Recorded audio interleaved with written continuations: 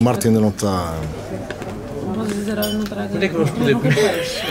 Já podem, já podem comer quando